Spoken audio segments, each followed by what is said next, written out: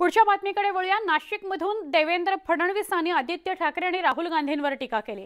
राज्यातील उद्योगधंद्यांवरून ठाकरेंनी केलेल्या टीकेवर उत्तर देताना फडणवीसांनी टीका केली आहे. आदित्य ठाकरे डोळ्याला पट्टी लावून बोलतात असं फडणवीसांनी म्हटलंय. तर सुप्रीम कोर्टानं राहुल गांधींची शिक्षा स्थगित केल्यावर फडणवीसांनी काँग्रेस नेत्यांवर टीका केली.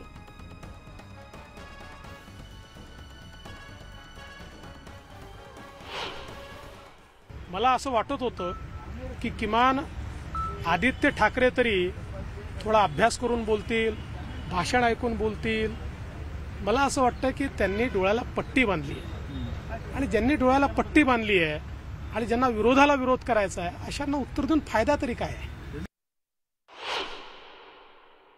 असं सुप्रीम कोर्टाने तर म्हटलेलं नाहीये. सुप्रीम कोर्टाने उलट राहुल गांधी यांनी जे म्हटलेलं आहे ते कसं अयोग्य आहे? आणि उच्चपदस्थ लोकांनी असं का म्हणू नये हे देखील सांगितलेलं आहे.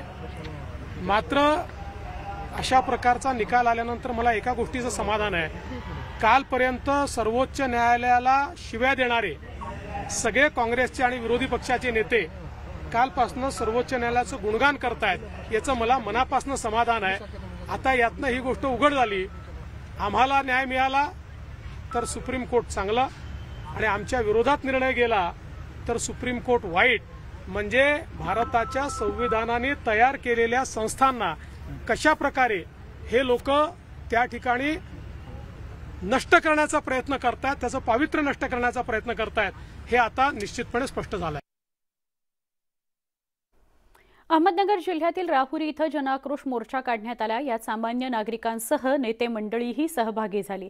लवजिहाद विरोधी कायदा झाला पाहिजे ही मागणी घेऊन रस्त्यावर उतरलेल्या हिंदू जनाक्रोश मोर्चात अहमदनगरचे खासदार सुजय विखेंसह इतर नेतेही सहभागी झाल्याचं बघायला मिळालं. दरम्यान आंदोलकांची भावना सभागृहात मांडणार आहोत. लव जिहाद विरोधी कायदा झाला पाहिजे याकरता प्रयत्न करणार आहोत असं खासदार सुजय विखे पाटील म्हणाले.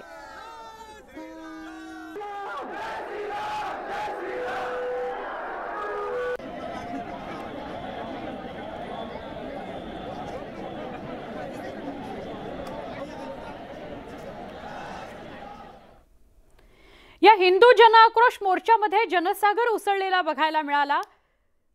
अहमदनगर जिल्ह्यातल्या राहुरी शहरात आज हिंदूंचा जनसागर रस्त्यावर उतरला होता. ही ड्रोनची दृश्य आम्ही तुम्हाला दाखवतोय.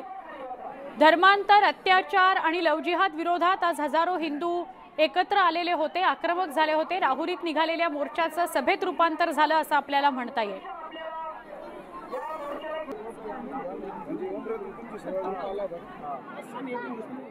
त्याच्यातले काही आमच्या डिपार्टमेंटले अधिकारी चुकत आहेत याची जाणीव आम्हाला आहे.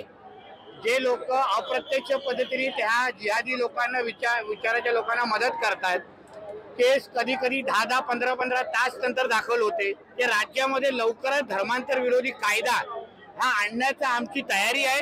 त्या पद्धतीचे नव्वद टक्के काम झालेलं आहे. कुठल्याही अधिवेशनामध्ये कुठलाही शरीर कायदा आपल्या राज्यामध्ये आल्यानंतर फक्त नगर नाही राज्यात आपलं धर्मांतर किंवा लव जिहाद मुक्त होईल एवढं विश्वासाने सांगत लोकप्रिय कला दिग्दर्शक नितीन देसाई आत्महत्या प्रकरणात महत्वाची माहिती समोर आली आहे. एडलवाईज कंपनी विरोधात गुन्हा दाखल करण्यात आलाय. नितीन देसाईंची ऑडिओ क्लिप आणि त्यांच्या कुटुंबियांनी केलेल्या आरोपानंतर ही कारवाई करण्यात आली आहे. या प्रकरणात एडलवाईज कंपनीचे चेअरमॅन रमेश शहा रशेश शहा यांचा त्यात समावेश आहे. तसंच स्मिता शहा आर के बन्सल जितेंद्र कोठारी केऊर मेहता यांच्यावरही गुन्हा दाखल झालाय. या प्रकरणी रायगड पोलीस लवकरच सगळ्यांना समन्स देऊन चौकशीला बोलावणार आहेत असं कळत आहे नितीन देसाई यांनी आत्महत्या करण्यापूर्वी काही ऑडिओ क्लिपचा तपशील समोर आलाय. या ऑडिओ क्लिप्समध्ये रशेश शहानं माझा स्टुडिओ गिळण्याचं काम केलं. स्मित शहा केयूर मेहता आर के बन्सल यांनी माझा स्टुडिओ लुटला असं देसाईंनी म्हटलंय. दरम्यान हे गुन्हे दाखल झाल्यावर एडलवाईजकडून स्पष्टीकरण देण्यात आलंय. आम्ही जे काही केलंय ते आर बी आयच्या नियमांअंतर्गत केलेलं आहे असं एडलवाईज कंपनीनं सांगितलेलं आहे. नितीन देसाईंच्या निधनावर त्यांनी शोक व्यक्त केलेला आहे. कोल्हापूरची अस्मिता असलेला जयप्रभा स्टुडिओ विक्रीपासून वाचलाय. हा स्टुडिओ सरकार ताब्यात घेणारे महापालिकेला तसे आदेश देण्यात आलेत. राजाराम महाराजांनी स्थापन केलेल्या पण लता मंगेशकरांची मालकी असलेल्या या स्टुडिओची गेल्या वर्षी विक्री झाली होती. माजी आमदार राजेश क्षीरसागर यांच्या मुलांनी हा स्टुडिओ एका कंपनीच्या माध्यमातून घेतला होता. अनेक चित्रपटांचा साक्षीदार हा स्टुडिओ आहे त्याचे तीव्र पडसाद उमटले. त्यामुळे राजेश क्षीरसागर यांनी मुलांनी परस्पर व्यवहार केल्याचं म्हणत सरकारनं पर्यायी जागा द्यावी अशी मागणी केली आहे. त्यासाठी त्यांनी पाठपुरावा केला होता. अखेर सरकारनं त्याला मंजुरी दिली आहे. त्यामुळे कोल्हापूरची अस्मिता असलेला हा स्टुडिओ वाचवण्यात यश आलंय असं म्हणता येईल. पण काँग्रेसनं याचं राजकारण केलं असा आरोप राजेश क्षीरसागर यांनी केलाय. शासनानं दिलेल्या निर्णयामध्ये जयप्रभा स्टुडिओची जेवढी जागा आहे तेवढी जागा पर्यायी महानगरपालिकाच्या आयुक्तांनी उपलब्ध करून द्यावी असं निर्णयामध्ये प्रथम म्हणलेलं आहे.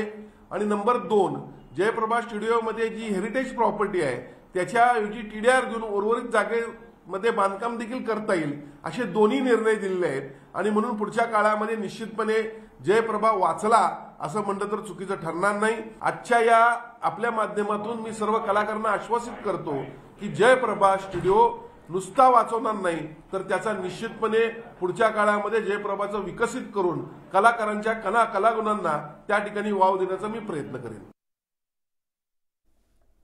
मुंबईत बेस्ट बसच्या कंत्राटी कर्मचाऱ्यांनी विविध मागण्या